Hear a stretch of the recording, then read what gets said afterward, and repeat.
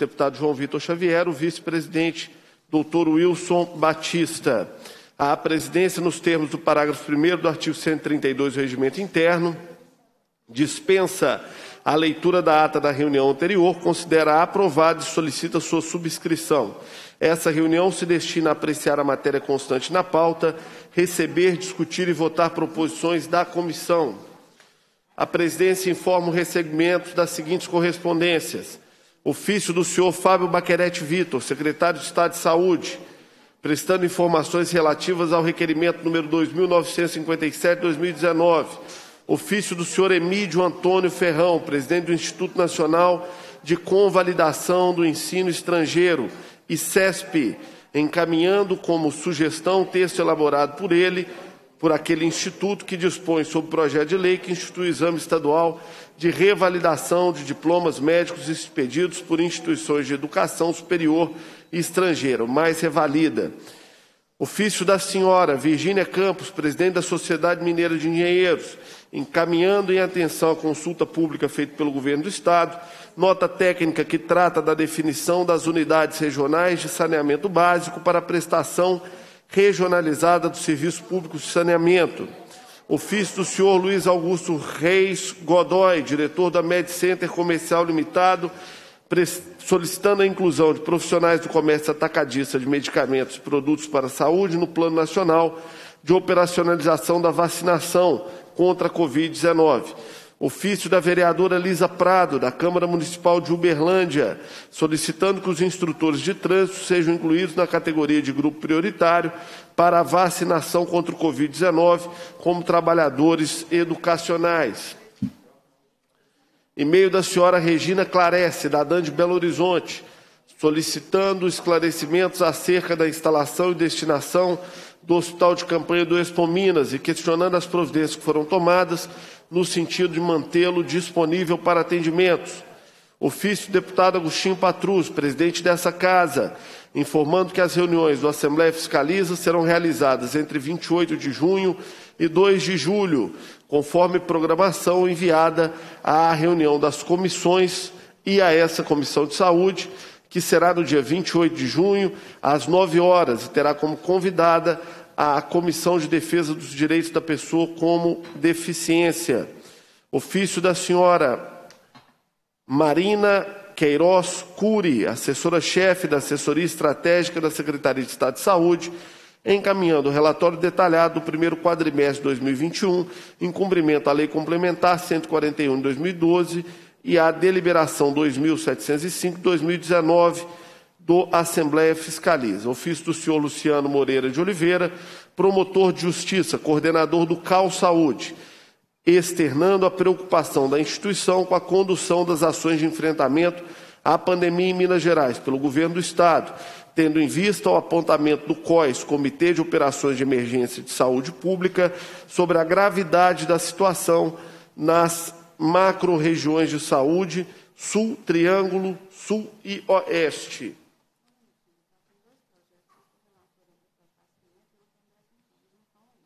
A gente, a gente retira de pauta, se eles entrarem a gente distribui, senão...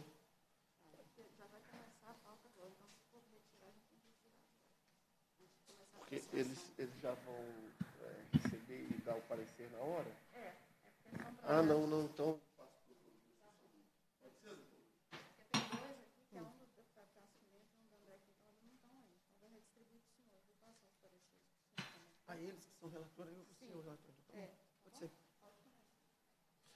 Passa-se a primeira fase da ordem do dia, que compreende a discussão e a votação de pareceres sobre proposições sujeitas à apreciação em plenário.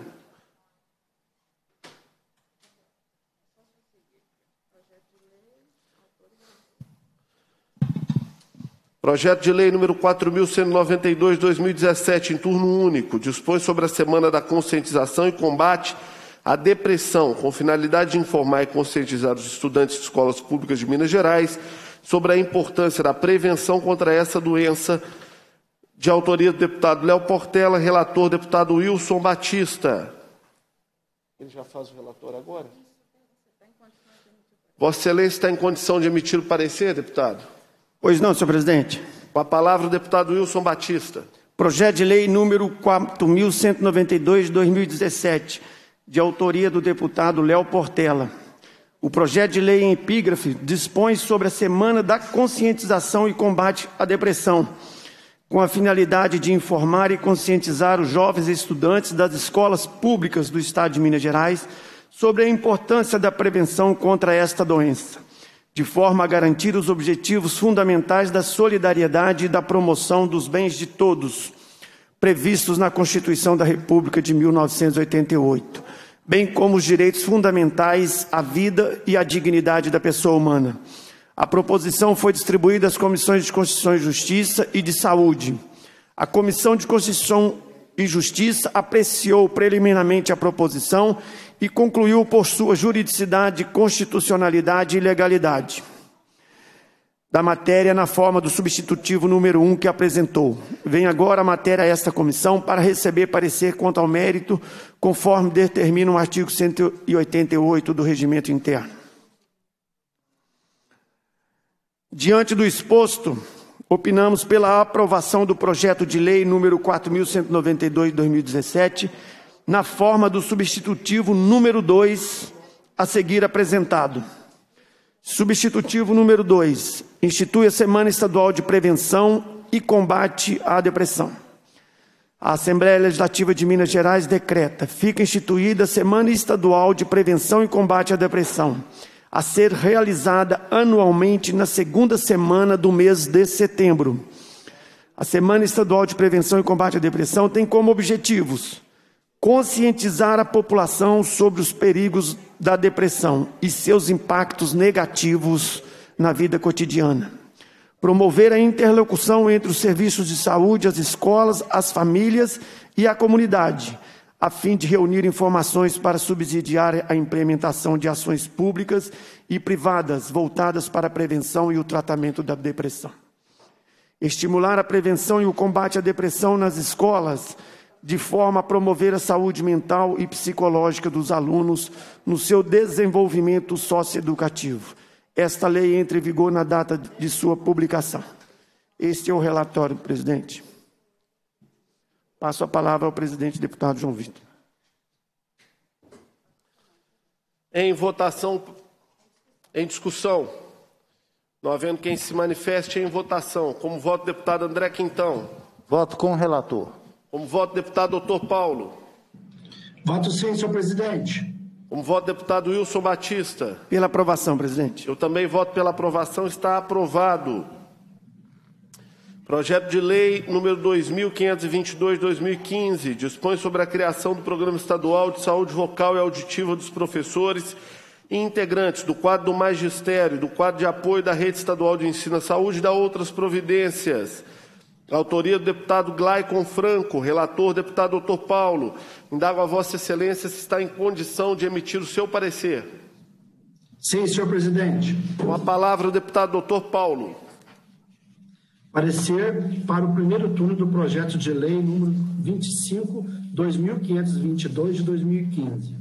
De autoria do deputado Glaicon Franco, o projeto de lei número 2522 de 2015, resultante do desarquivamento do projeto de lei 3719 de 2013, dispõe sobre a criação do Programa Estadual de saúde vocal e auditiva para professores e integrantes do quadro do magistério e do quadro de apoio da rede estadual de ensino do Estado e da outras providências.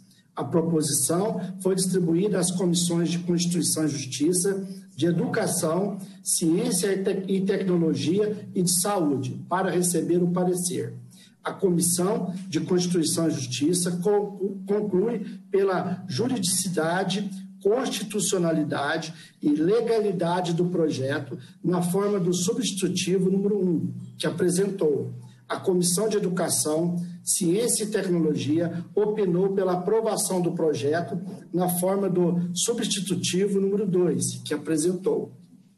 Conforme determina o artigo 173, parágrafo 2 do Regimento Interno, foram anexadas, anexados à proposição, por semelhança de objeto, os projetos de lei número 2822-2015, de autoria do deputado Léo Portela, e 5.059 de 2018, de autoria do deputado Dr. Jean Freire.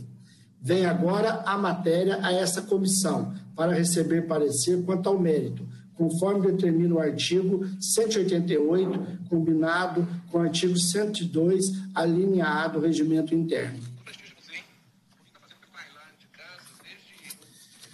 Fundamentação.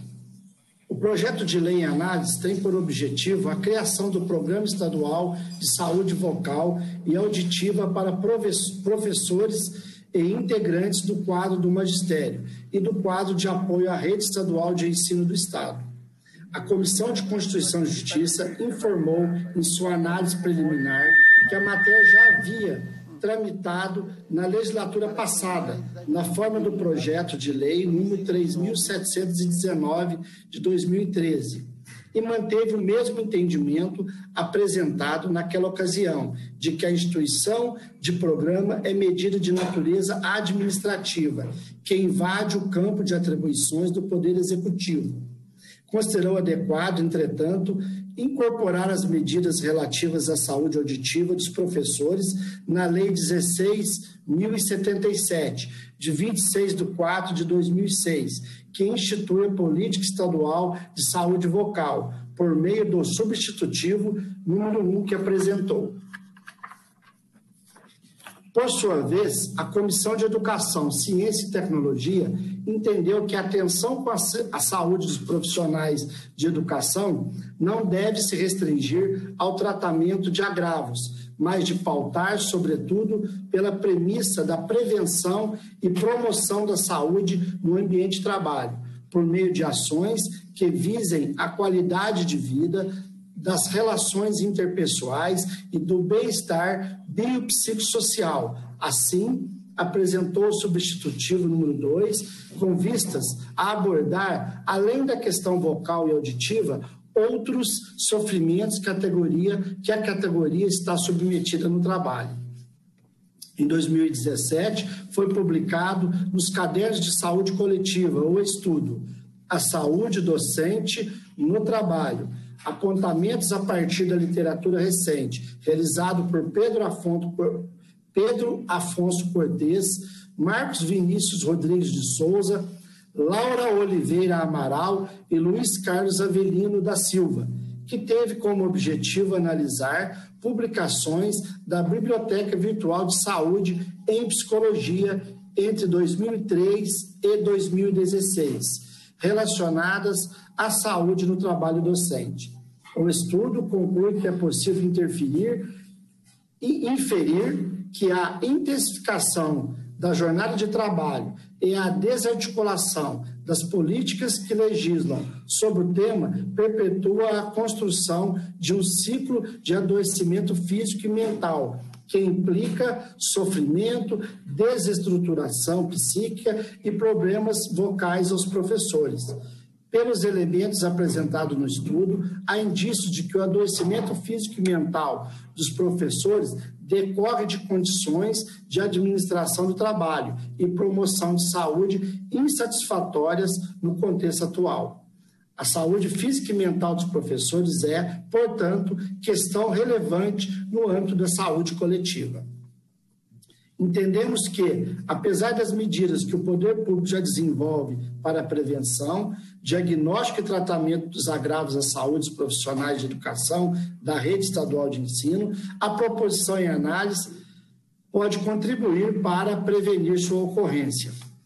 Concordamos com o substitutivo número 2, apresentado pela Comissão de Educação, Ciência e Tecnologia, tendo em vista que ampliou as medidas de atenção à saúde ocupacional dos profissionais de educação da rede estadual de ensino e incluiu diretrizes como a promoção da qualidade de vida no trabalho, por meio da manutenção de ambientes e processos de trabalho saudáveis, o desenvolvimento de ações de promoção e proteção à saúde e de prevenção de doenças ocupacionais, com prioridade para a saúde vocal, a saúde auditiva e a saúde mental. A orientação dos profissionais de educação sobre os processos de adoecimentos, adoecimento relacionados com a atividade laboral e o levantamento das condições de trabalho dos profissionais de educação, visando a detecção de riscos ocupacionais à saúde e ao seu bem-estar, entre outras. Nos termos do artigo 173, parágrafo 3 combinado com o artigo 145 do Regimento Interno, esta comissão deve também se manifestar a respeito dos projetos de lei número 2822 de 2015 e 5059 de 2018 em razão da similaridade de conteúdo entre as proposições, entendemos que todos os argumentos apresentados neste parecer se aplicam também aos projetos anexados. Conclusão: diante do exposto, somos pela aprovação do projeto de lei 2522 de 2015 no primeiro turno, na forma do substitutivo número 2 apresentado pela Comissão de Educação, Ciência e Tecnologia e pela rejeição do substitutivo número 1 da Comissão de Constituição e Justiça. Esse é o nosso parecer, senhor presidente. Obrigado, deputado doutor Paulo. Em discussão, parecer. Em votação, como vota o deputado doutor Wilson Batista? Pela aprovação, presidente. Como vota o deputado doutor Carlos Pimenta?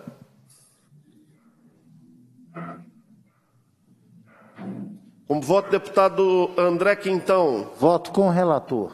Como voto, deputado doutor Paulo. Pela aprovação, senhor presidente. Eu também voto pela aprovação. Está aprovado. Deputado doutor Carlos Pimenta gostaria de registrar o voto?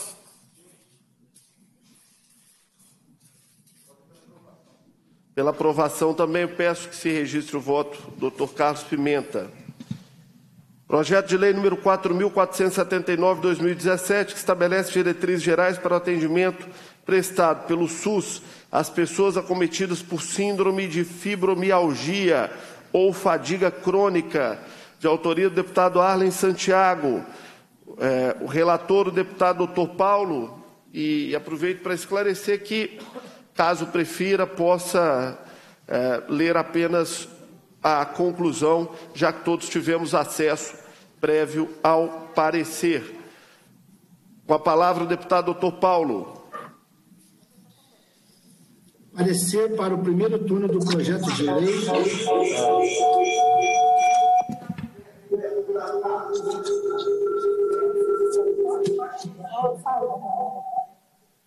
Ok, calma. Pode já, já solucionar a questão tecnológica, deputado doutor Paulo, com a palavra, Vossa Excelência. Parecer para o primeiro turno do projeto de lei número 4.479 de 2017, Comissão de Saúde. É, de autoria do deputado Arne Santiago, a proposição em tela estabelece diretrizes gerais para o atendimento prestado pelo Sistema Único de Saúde, SUS, às pessoas acometidas por síndrome de fibromialgia ou fadiga crônica. A proposição foi distribuída às comissões de Constituição e Justiça e de Saúde. A Comissão de Constituição e Justiça apreciou preliminarmente a proposição e concluiu por sua juridicidade, constitucionalidade e legalidade da matéria, na forma do substitutivo número 1 que apresentou. Vem agora a matéria a esta comissão para receber parecer quanto ao mérito, conforme determina o artigo 188, combinado com o artigo 102, a linha A do regimento interno. Em cumprimento do disposto do, no artigo 173, parágrafo 2 do regimento interno, por esta semelhança de, de objeto, foi anexada a proposição em tela o projeto de lei 1398 de 2020, de autoria do deputado João Magalhães.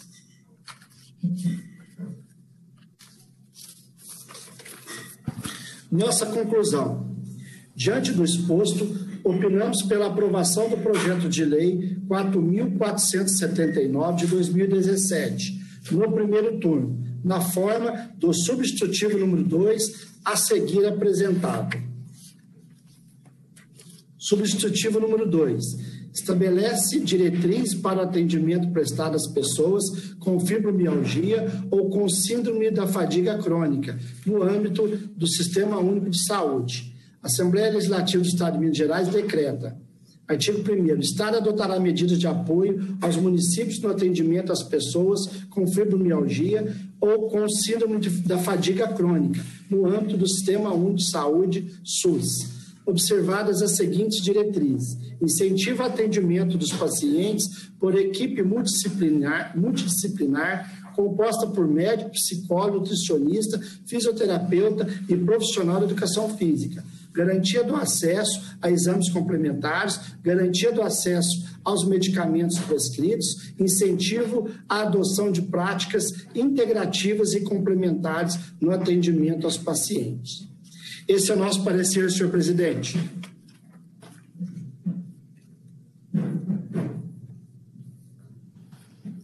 Obrigado, deputado doutor Paulo. Em discussão, parecer, em votação, como voto, o deputado doutor Wilson Batista.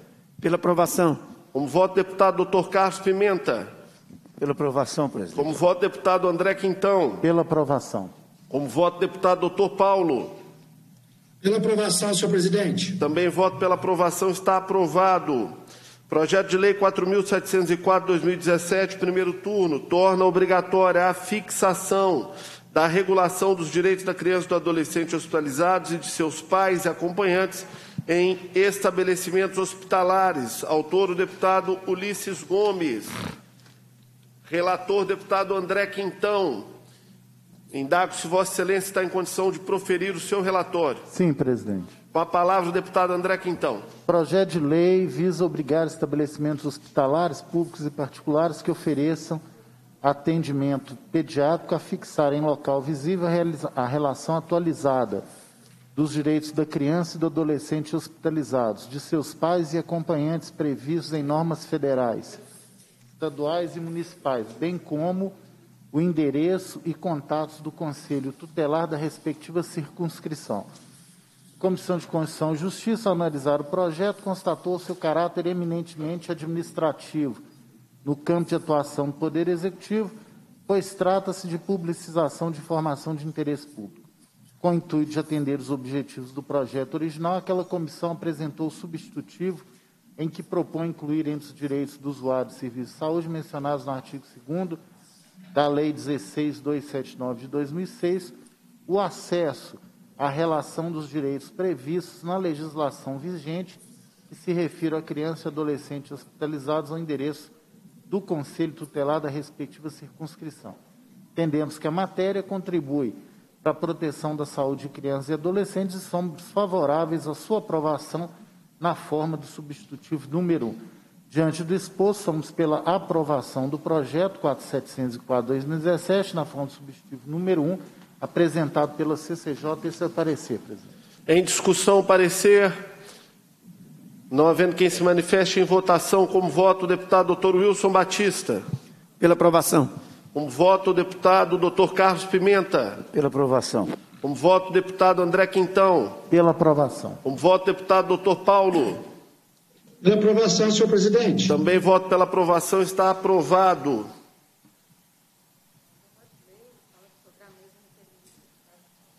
Projeto de lei número 727, 2019, sobre a mesa, é, requerimento solicitando a retirada de pauta. É, em votação, requerimento. Como vota o deputado doutor Wilson Batista? Pela aprovação. Como vota o deputado André Quintão? Pela aprovação. Como vota o deputado Carlos Pimenta? Pela aprovação. Como vota o deputado doutor Paulo? Pela aprovação, senhor presidente. Está retirado de pauta, mas retornaremos com o projeto logo após entendimentos. Projeto de Lei 924-2019, primeiro turno, dispõe sobre a prestação de assistência odontológica a pacientes em regime de internação hospitalar na rede pública e privada do Estado e da outras providências. De autoria do deputado Zé Reis, relator do deputado doutor Wilson Batista. Indago se Vossa Excelência está em condição de proferir o seu parecer. Sim, senhor presidente. A proposição em epígrafe dispõe sobre a prestação de assistência odontológica a pacientes em regime de internação hospitalar na rede pública e privada do Estado. A proposição foi distribuída às comissões de Constituição e Justiça, Saúde, Fiscalização Financeira e Orçamentária. A Comissão de Constituição e Justiça apreciou preliminarmente a proposição e concluiu por sua juridicidade, constitucionalidade e legalidade da matéria na forma do substitutivo número 1 que apresentou. Bem agora a matéria esta comissão para receber parecer quanto ao mérito, conforme determina o artigo 188 do Regimento Interno. Diante do exposto, senhor presidente, opinamos pela aprovação do projeto de lei número 924/2019 no primeiro turno, na forma do substitutivo número 2 a seguir apresentado, e pela rejeição do substitutivo número 1 da Comissão de Constituição e Justiça. Substitutivo número 2. Dispõe sobre assistência odontológica ao paciente internado em hospital, público ou privado, conveniado com o Sistema Único de Saúde de médio e grande porte. Fica assegurada assistência odontológica ao paciente internado em hospital com o Sistema Único de Saúde de médio e grande porte. Para os fins dessa lei, considera-se hospital de médio e grande porte os que possuem 51 a 150 leitos, médio porte, e de grande porte os que possuem de 151 a 500 leitos. A assistência odontológica de que trata esta lei compreende ações de prevenção, promoção e ações diagnóstico e tratamento de doenças ou alterações orofaciais. As ações a que se refere o caput serão executadas por cirurgiões dentistas regularmente inscrito no Conselho Regional de Odontologia. Esta lei entra em vigor após 180 dias contados à data de sua publicação. Em discussão, o parecer. Em votação, como para, vota. Para encaminhar, presidente. Para encaminhar a votação, com a palavra, deputado doutor Carlos Pimenta. Eu só gostaria de, de tirar uma dúvida, porque eu acho que o, o mérito do projeto, a proposta do deputado Zé Reis, ela é louvável.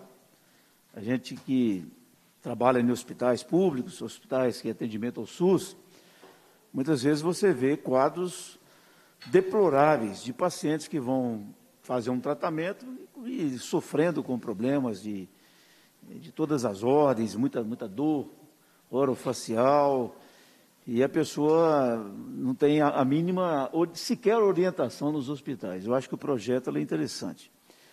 O projeto ele corrige, salvo engano, em parte um vício de iniciativa, um vício de erro inicial não de iniciativa, de erro inicial.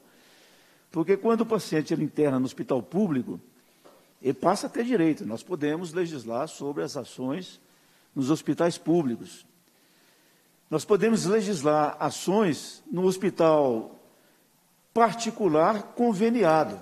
Se o paciente é do SUS, o hospital ele opta por um convênio com o SUS, e se está internado nesse hospital, mesmo ele sendo particular, da rede privada, mas tem convênio com o SUS. Agora, é, o projeto, aí que vem, o, que, que fica uma pequena dúvida, e se o paciente está internado num, paciente, no, no hospital privado, privado, mesmo que tenha convênio com o SUS, mas não está internado pelo SUS, o, o projeto não incide sobre esse paciente, não? Não. Então, eu queria saber se está claro isso, deixou claro porque senão seria uma ingerência indevida da, da, né, da Assembleia num hospital privado para um paciente privado. Eu acho que o hospital privado para o paciente privado, a lei não tem que incidir.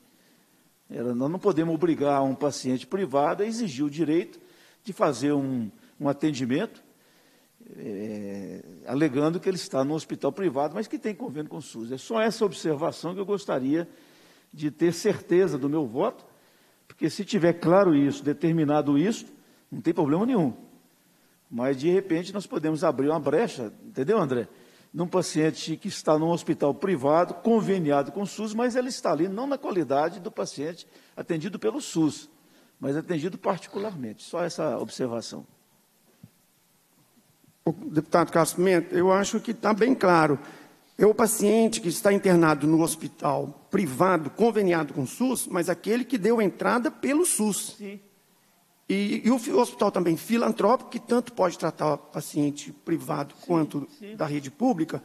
É claro, esse projeto aqui incide somente naqueles pacientes que são internados pelo SUS. Não, o paciente que está internado particular, eu concordo plenamente. Que... Agora, eu acho que na hora da redação final do projeto, ele tem que ser mais, mais explícito, mais claro, para que a gente possa, sabe, tratar desse assunto. Então, eu gostaria, eu vou conversar com o deputado Zé Reis, nós vamos sair daqui, aqui é comissão de mérito, mas na hora da, da, da de, de, se escrever a lei, ela tem que ser muito clara nisso aí.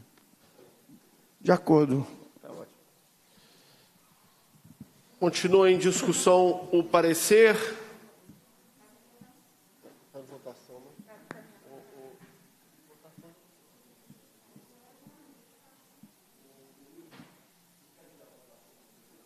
O, se o senhor estiver de acordo, o Carlos Pimenta, esse projeto está em primeiro turno. No segundo turno, a gente pode acrescentar ali que são pacientes que estão em tratamento unicamente pelo SUS. Perfeitamente. Então vamos manter a votação e fica o acordo para que possa ser apresentada emenda em segundo turno. Em votação, como voto, o doutor Wilson Batista. Pela aprovação. Com voto, doutor Carlos Pimenta. Pela aprovação. Com voto, doutor André Quintão. Pela aprovação. Um voto, doutor Paulo. Pela aprovação, senhor presidente. Também voto pela aprovação, está aprovado. Projeto de lei número 1700 de 2020, que assegura a realização de exames que detectam a trombofilia a todas as mulheres com idades de 10 a 49 anos no âmbito do Estado e da outras providências, de autoria do deputado João Leite. Relator, o deputado Carlos Pimenta. Vossa Excelência está em condições de proferir o relatório, deputado? Sim, presidente. Com a palavra, o deputado doutor Carlos Pimenta. De autoria do deputado João Leite, o projeto de lei 1700-2020 institui a realização do exame que detecta a trombofilia a toda mulher em idade infértil, em idade infértil, no âmbito do Estado de Minas Gerais e da outras providências. A proposição foi distribuída às comissões de Constituição Justiça e de Saúde. A Comissão de Constituição e Justiça apreciou preliminarmente a proposição e concluiu pela juridicidade, constitucionalidade e legalidade da matéria, na forma do substitutivo número 1 que apresenta. Vem agora a matéria a esta comissão para receber parecer quanto ao mérito. O projeto de lei em análise tem por objetivo assegurar gratuitamente a todas as mulheres entre 10 e 49 anos de idade, a realização dos exames que detectam trombofilia e que constam na tabela de procedimentos do SUS, mediante guia de solicitação médica. Parece que tem uma, um equívoco aqui, porque no, lá no, no relatório, no CAPT, fala que institui a realização do exame que detecta trombofilia a toda mulher em idade infértil. E aqui nós estamos estabelecendo de 10 a 49 anos, de 10 a 49 anos as mulheres são férteis. O que está que, que, que tá certo aqui? O, é lá em cima a idade deve ser fértil. Não?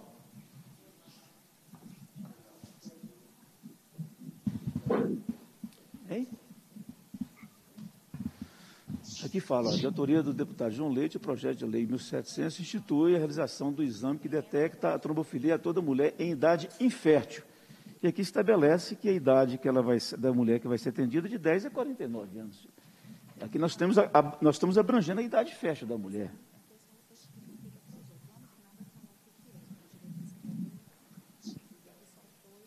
Não, tudo bem, mas aqui tá uma coisa está contradizendo a outra. Tá bom, então vamos lá, vamos seguir para ver se não tem outra contradição aqui. E que constam na tabela de procedimentos do SUS mediante guia de solicitação médica. O projeto dispõe ainda que os estabelecimentos de saúde deverão fixar em local visível o direito à realização dos exames e que o Estado poderá realizar campanhas sobre os riscos da trombofilia em mulheres que fazem uso de anticoncepcional. Então, se faz uso de anticoncepcional, é a idade fértil. É, com razão. Né? além dos cuidados que a gestante precisa adotar para a prevenção e tratamento da doença. A trombofilia é uma condição em que a pessoa tem maior facilidade para formar coágulos de sangue, aumentando o risco de problemas graves, como trombose venosa, acidente vascular cerebral, embolia pulmonar, por exemplo. Os coágulos surgem porque as enzimas do sangue responsáveis deixam de desempenhar sua função adequadamente devido a fatores hereditários ou circunstanciais, como gravidez, obesidade, câncer, Covid, entre outras. O uso de certos medicamentos, como anticoncepcionais orais, podem aumentar as chances de formação patológica de coágulos. A trombofilia pode ocorrer em mulheres adultas em qualquer fase da vida, mas estudos mostram que as gestantes são quatro a cinco vezes mais propensas a desenvolver do, doenças do que as outras mulheres. A identificação precoce de gestantes com riscos aumentados para um evento tromboembólico pela equipe de saúde da família da atenção primária visa garantir que elas sejam encaminhadas aos níveis de complexidade adequados na rede de atenção e minimizar os desfechos negativos de sua condição. Importante mencionar, no entanto, que os exames laboratoriais para detectar trombofilia no SUS não estão indicados para todas as mulheres entre 10 e 49 anos, nem mesmo para todas as gestantes, conforme o protocolo clínico de diretrizes terapêuticas, para a prevenção de tromboembolismo venoso em gestantes com trombofilia no âmbito do SUS editado pelo Ministério da Saúde por meio da Portaria Conjunta, número 4. A avaliação laboratorial para a detecção de trombofilia deve ser efetuada apenas em caso de gestantes com história pessoal de tromboembolismo venoso, com ou sem fator de risco recorrente e sem teste de trombofilia prévio, e em caso de gestantes com história familiar de trombofilia hereditária de alto risco em pacientes de primeiro grau. Este protocolo foi aprovado após recomendação da Comissão Nacional de Incorporação e Tecnologia, do CONITEC do SUS. A Comissão de Constituição e Justiça, que nos precedeu, alertou para a competência do Ministério da Saúde de editar normas gerais em saúde e de uniformizar o atendimento do SUS. Em seu parecer, aquela comissão esclareceu ainda que a fixação de cartazes que veiculem informação sobre o direito à realização dos exames de realização de campanhas sobre a, o tema é medida de natureza eminentemente administrativa, razão pela qual a matéria se enquadra no campo de atribuição do Poder Executivo. Se for assim, muitos projetos que a gente faz aqui são ilegais, porque eu já vi vários projetos pedindo para fixar placa disso, placa daquilo. Tem uma série de contradições aqui, essas, esse parecer.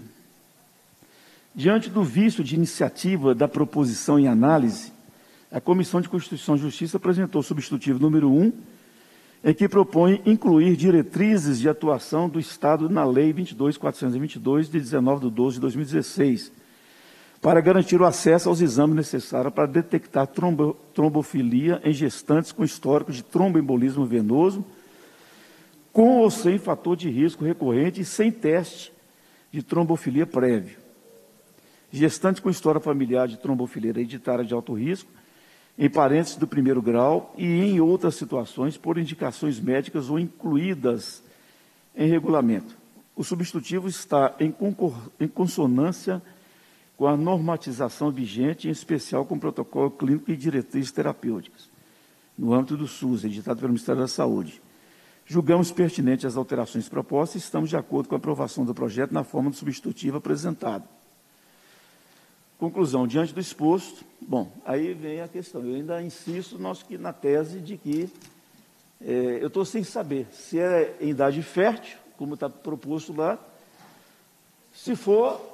Idade fértil. É, tem que ser idade fértil. Houve um erro aqui, então, de digitação. O senhor, o senhor quer pedir prazo para reavaliar o parecer, deputado? Não, não, eu, eu, eu, gostaria de um prazo maior, presidente, porque. Claro, perfeitamente. Em, em homenagem ao deputado João Leite, porque ele já me ligou, ele está muito preocupado com isso.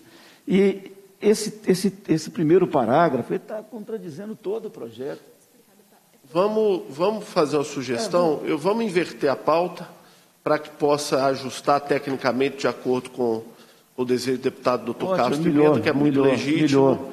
E, e, ao final, nós ainda temos várias matérias a serem apreciadas. Tá Eu acho que o tempo é adequado para que possamos ajustar o texto. Perfeito.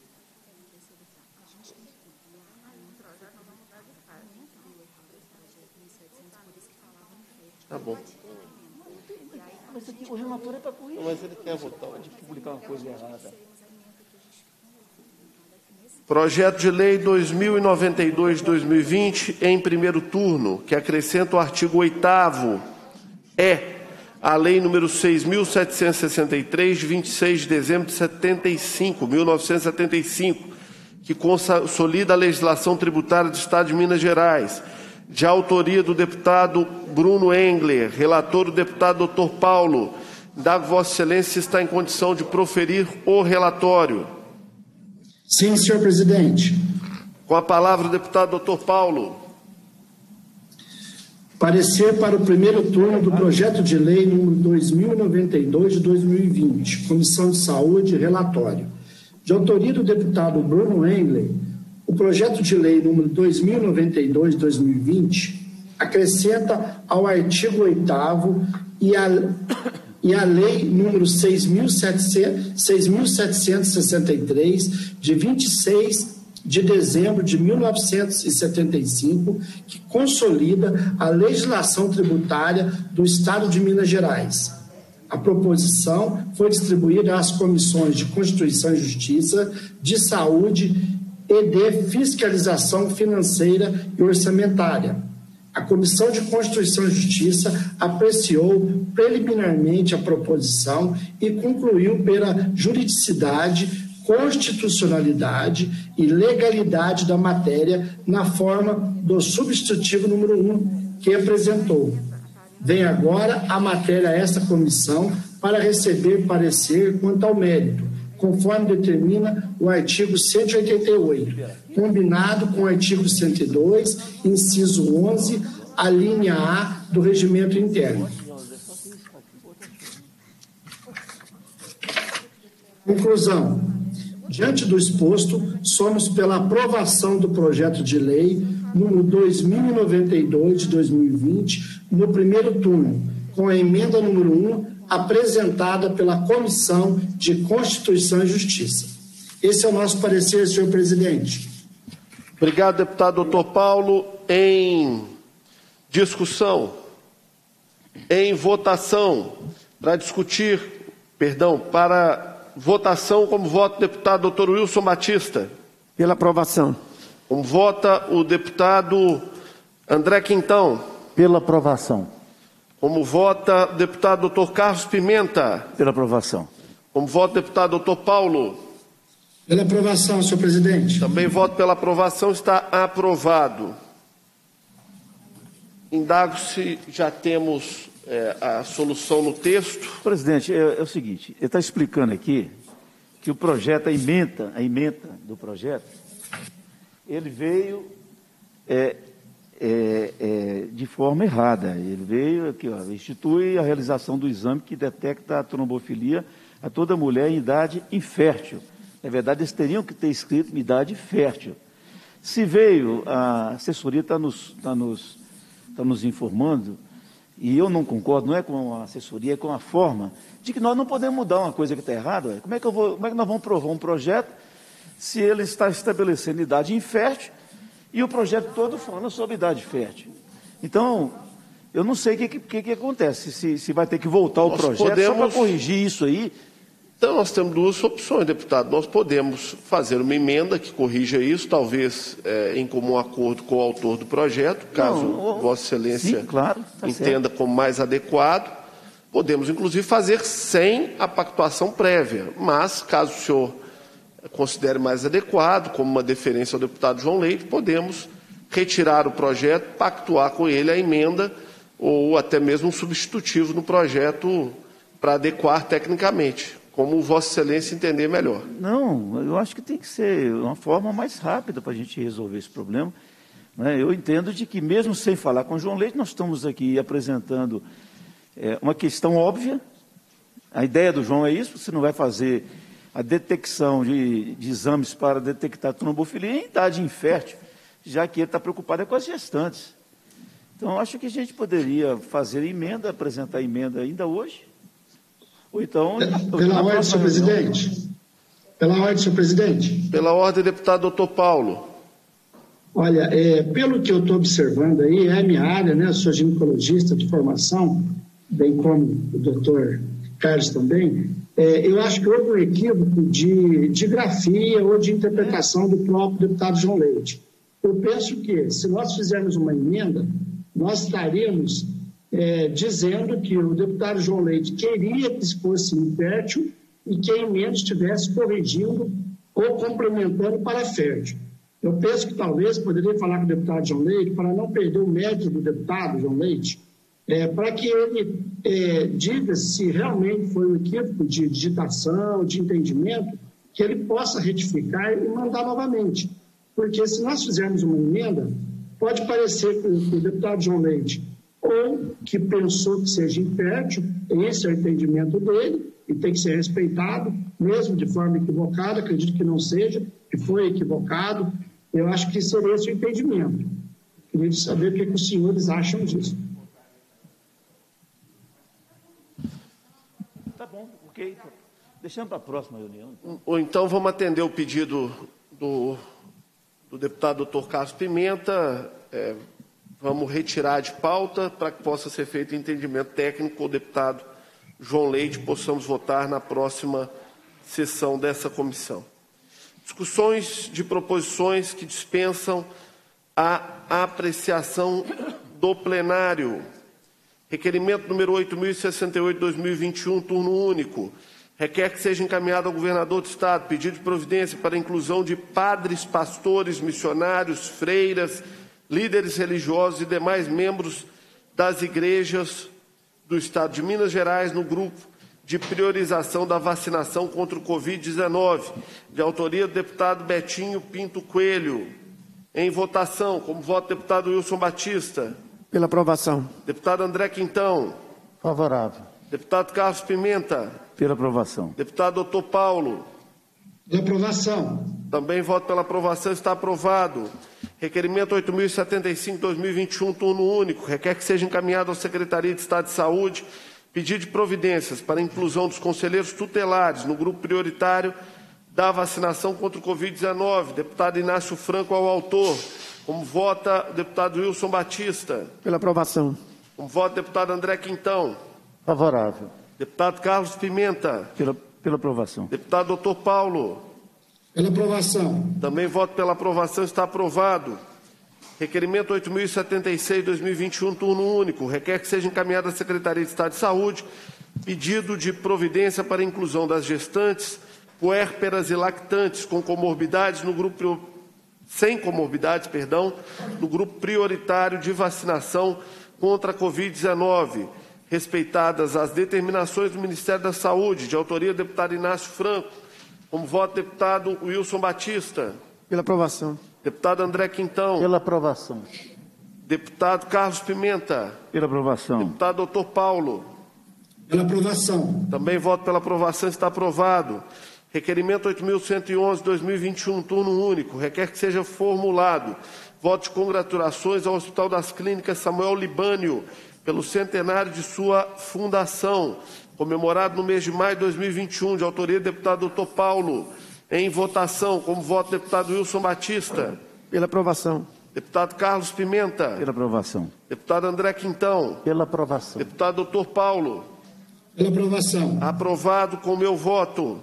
Requerimento 8.152-2021, turno único. Requer que seja formulado voto de congratulações ao senhor Henrique Moraes Salvador Silva, presidente da Rede Mater Dei, pelo prêmio 100 mais influentes da saúde na década Deputado Betinho Pinto Coelho. Como vota o deputado doutor Wilson Batista? Pela aprovação. Como vota o deputado doutor Paulo?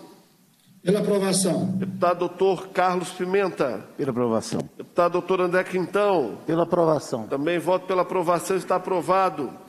Requerimento 8.194-2021, turno único. Requer que seja encaminhada à bancada mineira no Senado manifestação de apoio à aprovação do projeto de lei 2564-2020, que institui o piso salarial nacional do enfermeiro, do técnico de enfermagem, do auxiliar de enfermagem e da parteira do deputado Duarte Bexira. Autoria, como voto, deputado Wilson Batista. Pela aprovação. Deputado Carlos Pimenta. Pela aprovação. Deputado Doutor Paulo. Pela aprovação. Deputado André Quintão. Pela aprovação. Também voto pela aprovação, está aprovado. Requerimento 8.195-2021. Deputado Duarte Bexir requer que seja encaminhado à Secretaria de Estado de Saúde pedido de providência para estabelecimento de prioridade para genitores, tutores, curadores, cuidadores, técnicos de enfermagem e enfermeiros que auxiliam nos cuidados e bem-estar de pessoas com deficiência intelectual, com vistas ao recebimento da vacina contra o Covid-19. Como voto, o deputado Wilson Batista. Pela aprovação. Deputado André Quintão. Pela aprovação. Deputado Carlos Pimenta. Pela aprovação. Deputado Doutor Paulo. Pela aprovação. Também voto pela aprovação, está aprovado. Requerimento da deputada Ana Paula Siqueira, número 8.198 de 2021. Requer que seja encaminhada à Secretaria de Estado de Saúde pedido de providência para a inclusão de professores e trabalhadores da educação de idiomas e de cursos livres nos grupos prioritários de vacinação contra a Covid-19. Como voto, deputado Carlos Pimenta. Pela aprovação. Deputado Wilson Batista. Pela aprovação. André Quintão. Pela aprovação. Como vota o deputado doutor Paulo? Pela aprovação. Eu também voto pela aprovação, está aprovado. Requerimento 8.221 de 2021. Deputado Douglas Melo requer que seja encaminhada à Secretaria de Estado de Saúde pedido de providências para que seja realizada mediação e interlocução com os órgãos necessários visando a inclusão dos funcionários do Sistema Único de Assistência Social SUAS no grupo prioritário da campanha de imunização contra o Covid. Como voto, deputado Wilson Batista. Pela aprovação. Deputado Carlos Pimenta. Pela aprovação. Deputado doutor Paulo. Pela aprovação. Deputado André Quintão. Pela aprovação. Também voto pela aprovação, está aprovado. Requerimento 8.250 de 2021 Turno único, deputado Doraldino Júnior requer que seja encaminhada à Secretaria de Estado de Saúde pedido de providências para que seja feita a inclusão da categoria dos bancários nos grupos prioritários para a imunização contra o Covid-19. Como vota o deputado Wilson Batista? Pela aprovação. Carlos Pimenta. Pela aprovação. Doutor Paulo. Pela aprovação. André Quintão. Pela aprovação. Também voto pela aprovação, está aprovado. Passa-se a terceira fase da ordem do dia, que compreende o recebimento, discussão e votação de proposições da comissão. É, senhor presidente. Só aqueles três, gente, que já foram, então, que eu pactuei hoje. Esses todos já passaram. Pela... Cadê aqueles que eu, que eu pedi para colocar?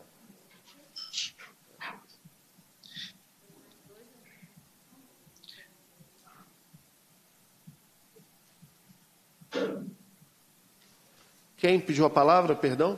Eu, eu peço a palavra, senhor presidente. A palavra, deputado doutor São Paulo. Para apresentar um requerimento. Com a palavra, deputado doutor Paulo, para apresentação de requerimento. Senhor, excelentíssimo senhor presidente da Comissão de Saúde, o deputado que esse subscreve requer a Vossa Excelência, nos termos do artigo 100, inciso 9, e o artigo 230, 233 inciso 2 do regimento interno, seja encaminhado ao secretário de Estado de Saúde pedido de informações sobre a execução do PNI, Programa Nacional de Imunização para a Covid-19, tendo em vista que não há uniformização de aplicação de vacinas para os grupos de, prioridades, de prioridade, prioridade nos municípios, causando uma confusão na população, pois há entes que seguem o PNI e outros que seguem suas próprias diretrizes. A justificativa, senhor presidente, é que nós temos é, aqui, especialmente no sul de Minas, algumas cidades e também na região metropolitana, é, utilizando é, uma outra regra para o PNI e causando uma grande confusão na sociedade, questionando por que, que na cidade A ou B não está aplicando de 18, de 20, é, de gestante, de puerper, de lactante. E aí as secretárias de saúde e os, os prefeitos ficam confusos se segue o PNI, se não segue e como dar justificativa à sociedade. Então seria essa esse nosso requerimento. Em Discussão. Em votação. Como voto, deputado Dr. Wilson Batista. Pela aprovação. Como voto, deputado Carlos Pimenta. Pela aprovação. Como voto, deputado André Quintão. Pela aprovação. Também voto pela aprovação, está aprovado. Eu passo a previdência ao deputado Wilson Batista para apresentar requerimentos de minha autoria. Requerimento número 9075-2020. O deputado que subscreve requer a Vossa Excelência, nos termos do artigo 100 do Regimento Interno, que seja encaminhado ao secretário de Estado de Saúde pedido de informações sobre o número de pessoas em Minas Gerais que tomaram a primeira dose da vacina contra a Covid-19, mas que não completaram o esquema vacinal. Requer ainda que sejam detalhadas os motivos do atraso na aplicação da segunda dose e o tipo de imunizante utilizado nestes casos. Em votação, requerimento do deputado João Vitor Xavier. Como voto, o deputado Carlos Pimenta. Pela aprovação. Como voto, o deputado André Quintão. Pela aprovação. Como voto, o deputado doutor Paulo. Pela aprovação. Como voto, o deputado João Vitor Xavier. Pela aprovação. Eu também voto pela aprovação. Aprovado. Requerimento do deputado João Vitor Xavier. Requer nos termos regimentais que seja formulada manifestação de apoio ao presidente do Senado para que ele seja incluído em ordem do dia o projeto de lei número 2564/2020, que altera a Lei Federal número 7498 para instituir o piso salarial nacional do enfermeiro, do técnico de enfermagem, do auxiliar de enfermagem e da parteira em trâmite nesta casa. Como voto deputado Carlos Pimenta. Pela aprovação. Como voto o deputado André Quintão. Pela aprovação. Como voto o deputado Dr. Paulo. Pela aprovação. Como voto o deputado João Vitor. Pela aprovação. Eu também voto pela aprovação. Aprovado. Requerimento do deputado João Vitor Xavier. Requer que seja, nos termos regimentais, que seja encaminhado ao secretário de Estado de Saúde o ofício número 242 de 2021 recebido por esta comissão referente à preocupação da, das coordenadorias de promotorias de justiça de defesa da saúde com a condução da, das ações de enfrentamento à pandemia de Covid-19 em Minas Gerais. Como voto o deputado Dr. Paulo. Pela aprovação. Como voto o deputado Carlos Pimenta. Pela aprovação. Como voto o deputado André Quintão. Pela aprovação. Como voto o deputado João Vitor Xavier. Pela aprovação. Eu também voto pela aprovação. Aprovado. Requerimento do deputado João Vitor Xavier. Requer nos termos regimentais que seja encaminhado ao secretário de Estado de Saúde pedido de informações sobre o planejamento para a campanha de vacinação contra a Covid-19 para o ano de 2022. Como vota o deputado Carlos Pimenta? Pela aprovação. Doutor Paulo, como vota? Pela aprovação. Deputado André Quintão. Pela aprovação. João Vitor Xavier, como vota? Pela aprovação. Eu também voto pela aprovação. Devolvo a palavra ao deputado João Vitor Xavier. Eu quero tomar liberdade apenas um minuto para registrar aqui junto aos colegas. Eu recebi uma visita agora pela manhã da coordenadoria do Ministério Público da Saúde, liderada essa equipe pelo doutor Luciano. Vieram nos trazer documentos importantes do Ministério Público acerca da preocupação com a terceira onda e com o estudo do Ministério Público que indica a aproximação é, de uma terceira onda da Covid muito grave aqui em Minas Gerais, com a perspectiva desse estudo do Ministério Público que o pico dessa terceira onda seja no próximo dia 4 de julho.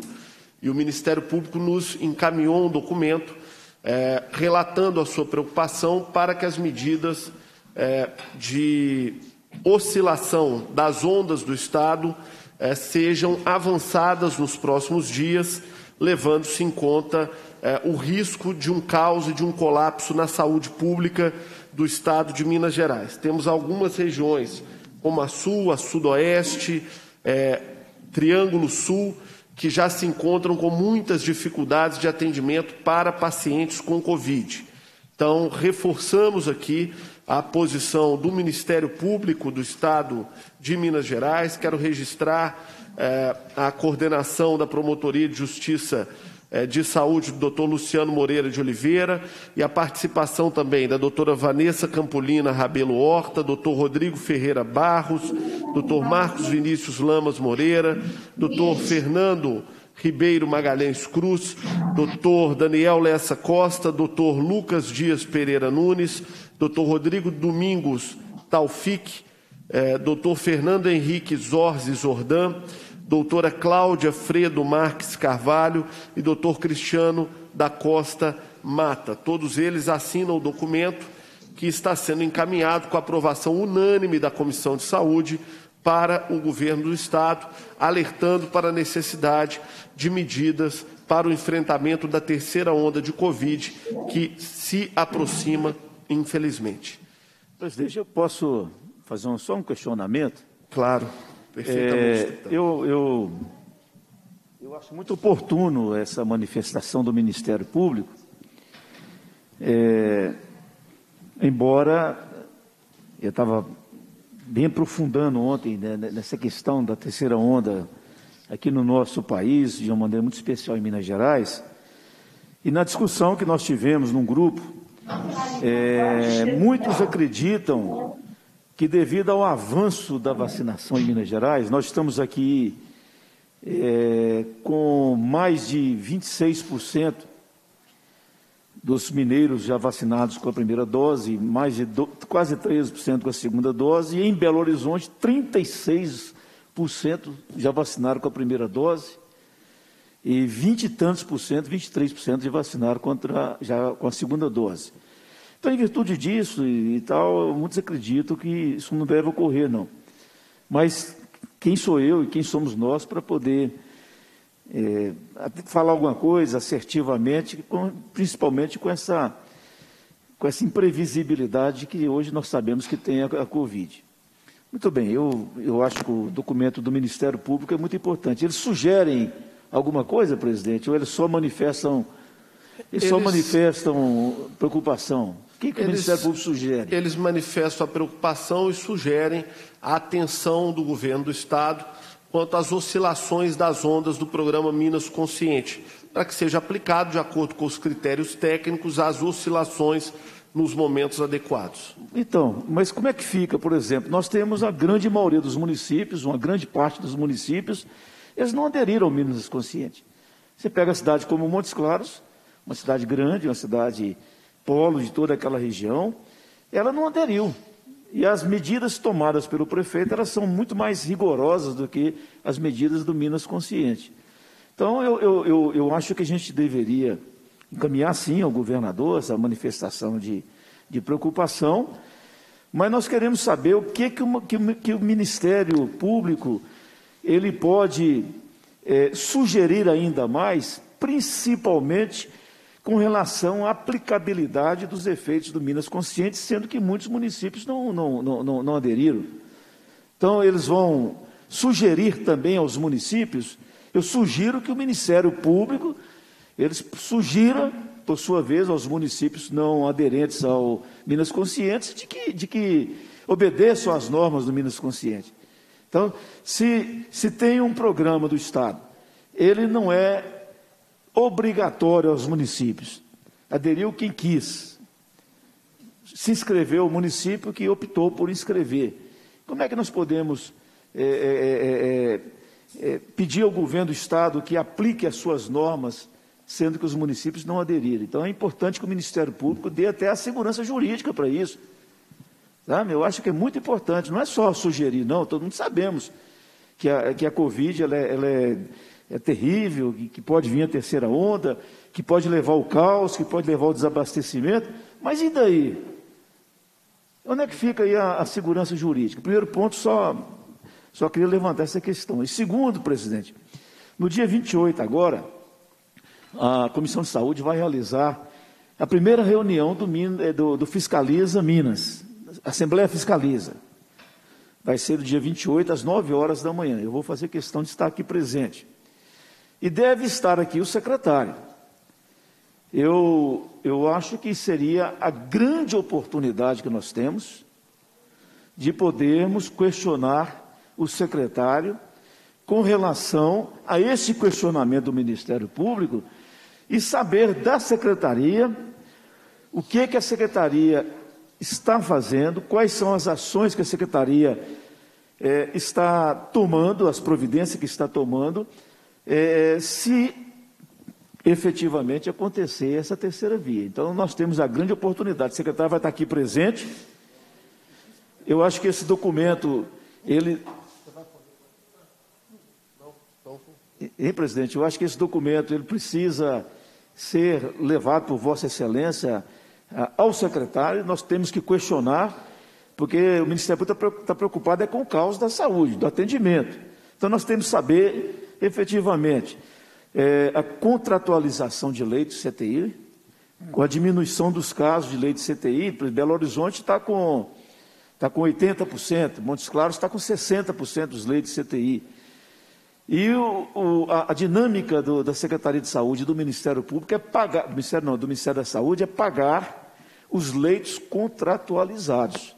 Se contratou 100 e tem 60, eles continuam pagando pelo 100 porque tem que ficar disponível à população. Então nós temos que saber essa disponibilidade, a oferta de leitos de enfermaria, de CTI. Nós precisamos saber a questão do oxigênio, é muito importante. Nós temos que saber se vier essa terceira onda mesmo, se, o, se apertar muito, se, se, vamos dar conta da. Né? Ah, o problema do, do estoque de medicamentos, do kit intubação. Então, são aquelas velhas questionamentos que tem que estar em dia. Eu, eu, eu gostaria muito de que a gente pudesse, dentre outros temas, nós temos que, que ver também a questão dos hospitais regionais e vários outros temas, mas que a gente pudesse focar é, nessas questões mediante aí a, a, a, preocupação legítima do Ministério Público, que só manifestou preocupação, mas não está apresentando nenhuma, nenhuma proposta, não está apresentando nenhuma garantia. O Minas Consciente é um programa do governo do Estado que foi disponibilizado as suas ações aos municípios. Muitos aderiram e muitos não aderiram. E aí? Nós podemos obrigar um município como Montes Claros a cumprir as determinações do Minas Consciente diante de uma terceira onda? Como é que é isso? Então, só para a gente poder discutir a vinda do secretário aqui dia 28. Com a palavra, senhor presidente. Com a palavra, deputado Wilson Batista. Presidente, eu concordo aqui com a preocupação de todos vocês e até a do Ministério Público. E muito louvável o seu requerimento também, qual que é o planejamento da vacinação em 2022. Eu não concordo muito com essa, é, esse conceito de primeira onda, segunda onda, terceira onda. Eu acho que é uma onda só, o vírus chegou no Brasil, está aí, vai ficar por alguns anos, a gente tem absoluta certeza disso. E o que o, a Secretaria Estadual de Saúde, os municípios têm que correr atrás hoje é da vacinação. Porque a gente sabe que essas incidências da doença só vai diminuir quando pelo menos 70% da, da população estiver vacinada. Enquanto nós estivermos abaixo disso, a, a onda vai estar aí presente. Eu acho ela vai perdurar enquanto não tiver vacinado os 70%. Então, eu acho que o Estado tem que se preocupar, tanto o Ministério Público, exatamente com isso, e com a saturação que hoje os hospitais estão convivendo. Eu acho que a gente tem que ampliar o número de leitos, treinar hoje profissionais da saúde para trabalhar nos, nas alas do enfrentamento ao Covid, porque o grande empecilho hoje de se ampliar os leitos é recursos humanos. São profissionais treinados para tratar desses pacientes que se agravam com Covid. Então já, já passou da hora do Estado criar uma ferramenta para treinar pessoas, recrutar pessoas e ter pessoas disponíveis e nas regiões onde tem os hospitais de referência para o tratamento do Covid. E temos que preparar para isso. Uma outra coisa é aumentar os estoques dos insumos para que as pessoas também não param de fazer as cirurgias necessárias que deveriam estar sendo feitas, não estão sendo feitas. Eu acho que nós vamos conviver com uma onda logo quando amenizar a do Covid, são com outras doenças que estão se agravando nesse decorrer do tempo. Porque a restrição de tratamento de outras doenças é muito grande nos hospitais hoje. E uma terceira preocupação que, tem, que o Estado tem que ter é que ano que vem, quando nós eh, tivermos vacinado toda a população, ano que vem certamente temos que recomeçar a vacinar todas essas pessoas. Porque essa imunidade não é duradoura. Há questionamentos ainda, não temos a certeza de qual é o período de duração dessa imunidade, se é seis meses, se é menos. Então, certamente, ano que vem nós já vamos ter que começar a revacinar toda a população. Então, tem que preparar para a produção de vacinas. Tem que ter vacinas sobrando. Tem pessoas que vai ter que vacinar duas vezes por ano, outras três vezes por ano. Então, é essa que eu acho que o Estado tem que preparar para o futuro. Enquanto isso, hoje é caminhar com a vacinação. Preocupação do Minas Consciente, de essas outras, eu também não vejo assim que isso tem uma, uma, um certo impacto em amenizar esse, a incidência do Covid. É isso aí, presidente. Muito obrigado, deputado doutor Wilson Batista. Muito obrigado, deputado doutor Carlos Pimenta. Cumprida a finalidade da reunião, a presidência agradece a presença dos parlamentares, determina a lavratura da ata e encerra os trabalhos.